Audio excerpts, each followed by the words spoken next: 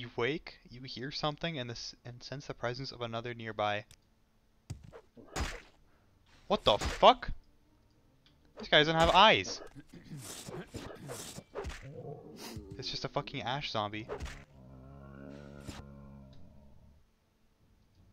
What? Okay, this guy just taking this guy just didn't fucking help at all. He just fucking sat there.